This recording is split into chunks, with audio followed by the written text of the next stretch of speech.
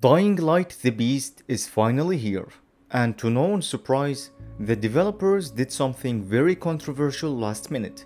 Because these things are to be expected nowadays, unfortunately. If you didn't know, the game was promoted to feature ray tracing, but it was pulled last minute before release. Here is what the devs have to say. Quote, to deliver the highest possible quality and stability at launch, we have decided to temporarily disable ray tracing while we finalize some last minute optimizations. This is a top priority for our team and we are working to enable it as quickly as possible after release. End quote. This honestly feels more like a bait and switch to prevent backlash about bad performance at launch, just like recent game releases, such as Borderlands 4 FPS and Metal Gear Solid Delta Frame Eater, and most likely there wasn't anything that actually needed fixing.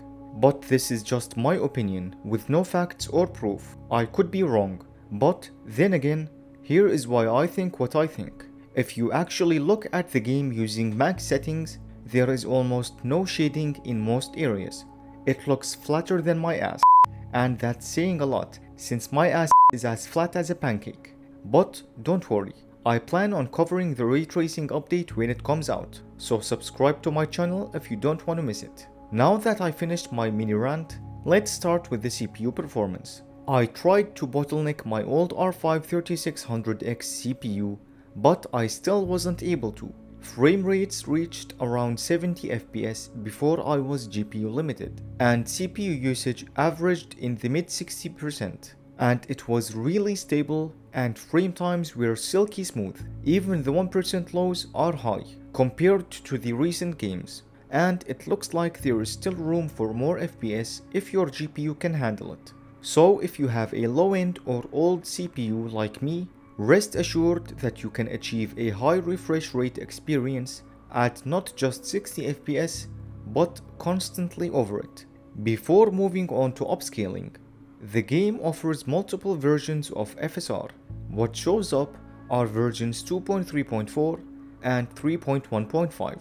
The older version can look sharper in stills and has better image stability in scenes with alpha effects, such as the smoke from this fire. However, in motion, while the newer version looks blurrier overall, it has slightly better image stability in general. In stills, native TAAU has a hard time dealing with aliasing and alpha effects. FSR3 has a softer overall image and is even less stable when dealing with alpha effects, as the shimmering is very apparent. XeSS has the softest and blurriest image out of all of the upscalers, but handles the shimmering a bit better than FSR3. DLSS on the other hand handles this area the best, as if it isn't really breaking a sweat, and the image softness is the same as native TAAU, so no extra blurriness. As for ghosting and artifacting during motion, other than native TAAU, which has very strong ghosting, the other upscalers are all relatively the same, and no easy visible difference is apparent from my testing, other than the fact that the overall image is sharper in motion using DLSS. If you have a relatively new GPU, you should enable asynchronous compute for free FPS.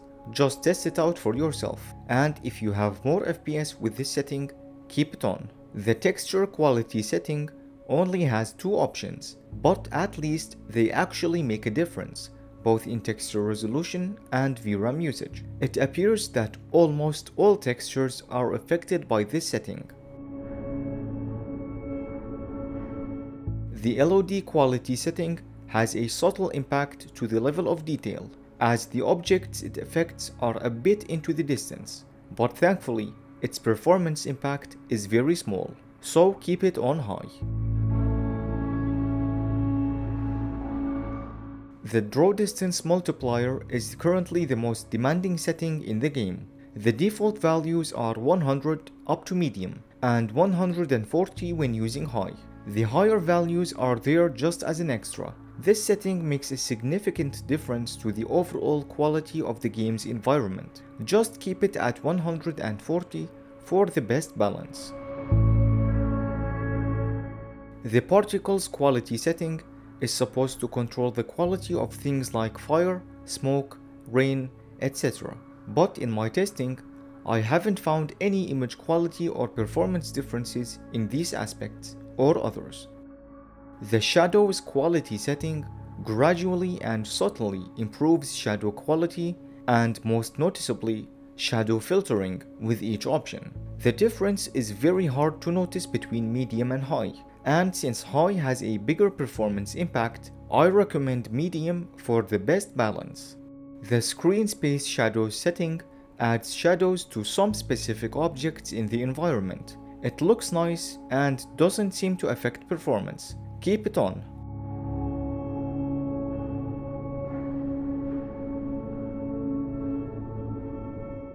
Ambient occlusion is much needed in this game, especially since ray tracing isn't implemented yet, and the game looks very flat as is.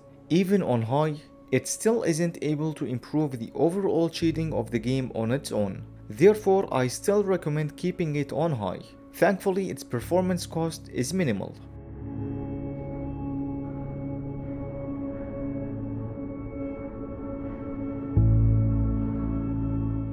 The global illumination quality setting has a very subtle impact and its effect changes quickly which made recording a comparison even harder since it is also affected by the time of day. Performance wise, it depends on the scene. I found that high can sometimes have a slightly noticeable impact, so use medium for the best balance. The reflections quality setting doesn't affect most surfaces noticeably, this is the only surface where I found it made an actually noticeable difference. Low and medium seem to look the same, while high increases reflection resolution. And since its cost is minuscule, keep it on high.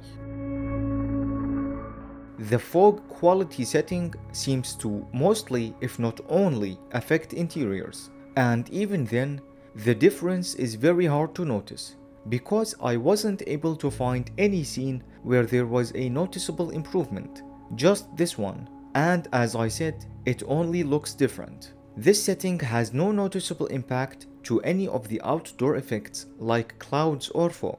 Its performance impact is small but measurable, so keep it on medium to be safe. The post-process quality setting doesn't behave like it should. Instead, the only difference it made was in this area, where it somehow alters the shading on these pillars. And yes, I don't know what's going on, but I'm just relaying my findings. As it doesn't have any measurable impact to FPS, keep it on high. Here are the optimized settings.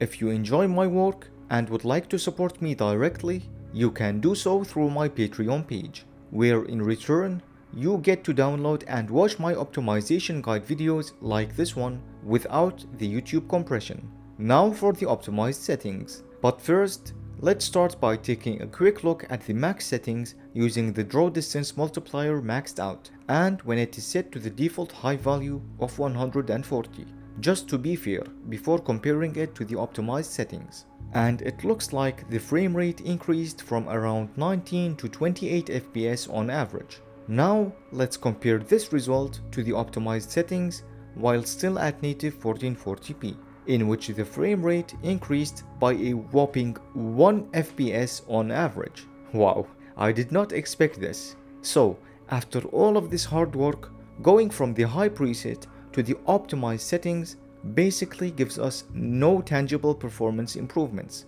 So this only leaves us upscaling if we want to increase frame rates in which using DLSS quality increases the average FPS from 30 to 45. Wow, I'm still surprised that this game, while generally well optimized, basically has zero scalability, even with the decent amount of settings it offers. What do you guys think about all of this? Tell us in the comments.